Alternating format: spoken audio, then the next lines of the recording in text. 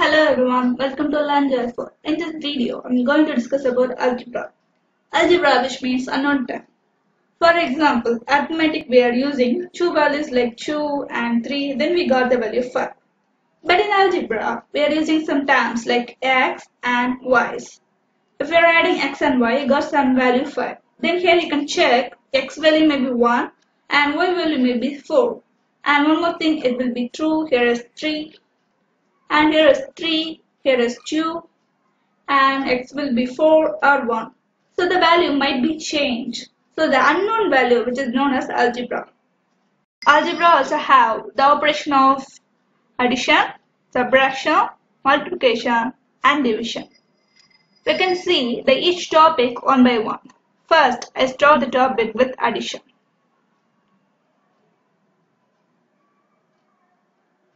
For addition, just take the value like 2 plus x which is equal to 5. So here we don't know the value of x. So I can simply write the x here and here the 2 was in positive sign. So I can change the 2 and the opposite side.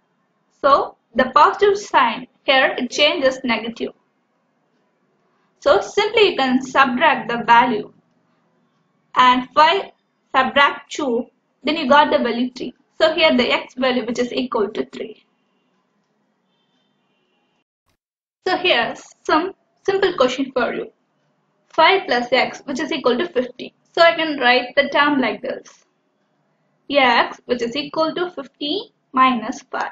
Because here the 5 was in positive sign, it will be changed the opposite side and make us the negative sign here then x value which is equal to 10. And the next question here 8 plus y which is equal to 10. The same thing has to do. So y which is equal to 10 here also it was in positive so it will change as negative. So 8 10 minus 8 which is equal to 2. So y value which is equal to 2. And one more question here 9 plus x which is equal to 19. So I can write like this x which is equal to 19 minus 9.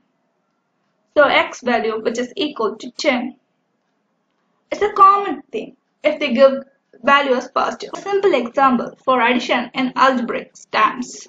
So next class we discuss about subtraction in algebraic terms. Thank you.